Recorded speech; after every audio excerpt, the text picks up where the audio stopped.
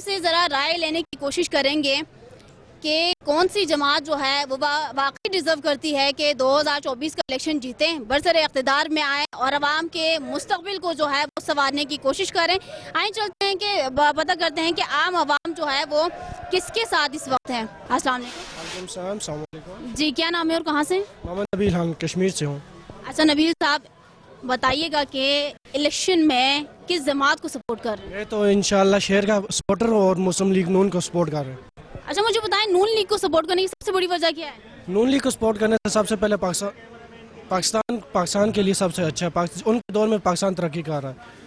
जो भी तरक्की की है नून लीग के दौर में पाकिस्तान ने की है। अभी जो उनके अपने केसेस खत्म हो रहे हैं अपने आप को रिलीफ मिल रहा है ऐसा बाकी जमात जो है वो कहते हुए नज़र आती है। तो उसके ऊपर आपको कोई पॉइंट ऑफ़ व्यू है? नहीं, कोई भी पॉइंट ऑफ़ व्यू नहीं है। जो भी इन पे केस किए थे वो सब झूठे थे। वो अल्लाह ताला ने उनको बरी कर दिया है।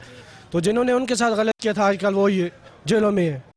ठीक है तो अभी नून लीग अगर बरसर इकतदार आ जाती है तो क्या वो आम आवाम को जो है, जो वो डिजर्व करते हैं, जो उनका मुतालबा है, महँगाई का हवाले से रिलीफ मिले बिजली, गैस और इस तरह की कीमतों में कमी लाए तो क्या नून लीग जो है, वो अपने वादे, ऐलानात पूरे कर पाएँगे? इंशाल्लाह, बिल्कुल, ज़रूर। जब मियाँ मोहम्मद नवाज़ शरीफ नून लीग की हुकूमत ख़त्म हुई थी, उस टाइम पेट्रोल 74 था।